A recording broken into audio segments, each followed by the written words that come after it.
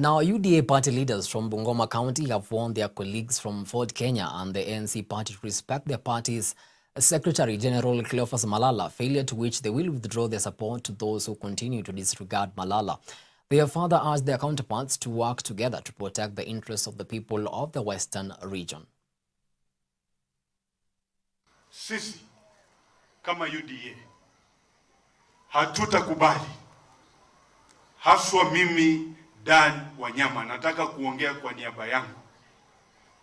Sitakubali mtu wa chama kingine chochote aweze kutoa matusi kwa rais wetu na kwa secretary general wa chama chetu tukiwa tunaangalia. Sasa SG, nataka kukuhakikishia kwamba katika Bungoma, katika mlima Elgon, chama cha UDA ni imara kwa sababu ndio chama tawala cha nchi hii yetu ya Kenya.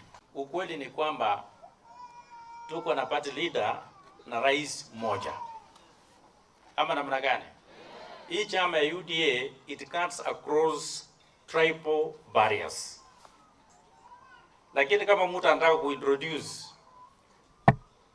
kusema ya kwamba hata Mount Elgon, Bungoma yote that we are going to convert, how can you fight the arm that feeds you? Sisi hatutusi watu wengine. Hizi miaka ine ni miaka ya kufanya maendeleo, ama namna gani?